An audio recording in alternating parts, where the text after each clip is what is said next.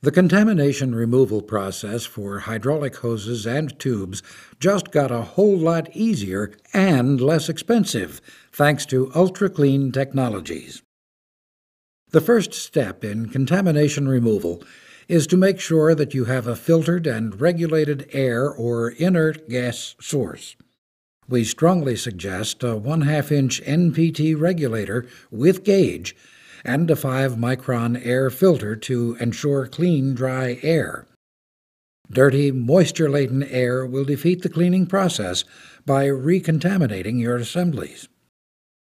Be sure to keep your shop or hose assembly area clean at all times and always wear safety glasses.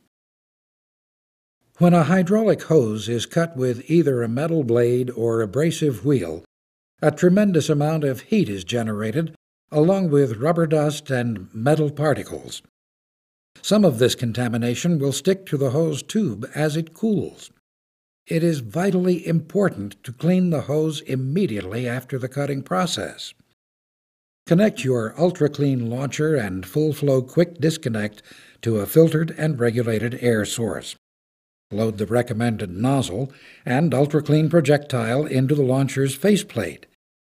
Nozzle and projectile sizing charts for hose, hose assemblies, tubing, and pipe are supplied with each unit along with recommended cleaning procedures.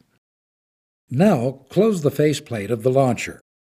The safety release bar will lock it into position. Insert the nozzle into the hose.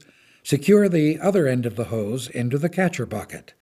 Depress the trigger until the projectile has exited the opposite end of the hose. Wipe the end of the nozzle clean and repeat this process now through the other end of the hose. The Ultra Clean projectile strips out the internal contamination as it travels through the hose and around bends, forcing the contamination out in front of it. When crimping or swaging the end connections onto the hose, do not lubricate the stem of the fitting with lubricants that are not compatible with your customer's hydraulic fluid. This would recontaminate the hose you're cleaning. Use lubricant sparingly and start above the end of the stem. The crimping or swaging process causes stem collapse to achieve the proper coupling retention. Internal metal flash contamination will occur and it must be removed. A third and final projectile must be fired through the entire assembly to finish the cleaning procedure you should now use either ultra clean tape or clean caps or plugs to ensure the assembly stays clean and contamination free. This Oil Pure Technologies independent report shows that we can achieve ISO 1310 cleanliness levels when using ultra clean projectiles and our recommended cleaning procedures. Tube assemblies should also be cleaned to remove metal particles and other contaminants. Before you clean the tube assembly, you should always deburr each end of the tube, make your bends, and flare the end of the tube if required. You should always fire the projectiles from the same end because the JIC and tube nozzle will clean the entire length.